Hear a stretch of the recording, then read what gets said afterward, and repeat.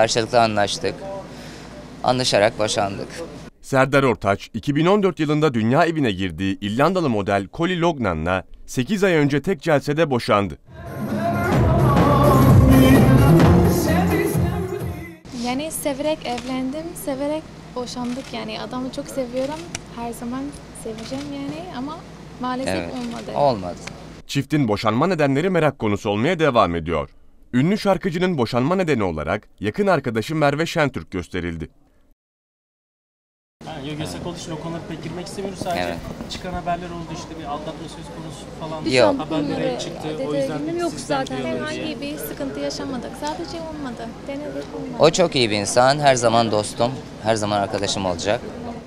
Serdar Ortaç'ın eski eşi Kavli Lognan, bulduğu her fırsatta Miami'ye gider ve orada yaşayan arkadaşı Merve Şentürk'ün evinde kalırdı. Miami'nin çılgın eğlencelerinde kız kıza sabahın ilk ışıklarına kadar gezer tozarlardı.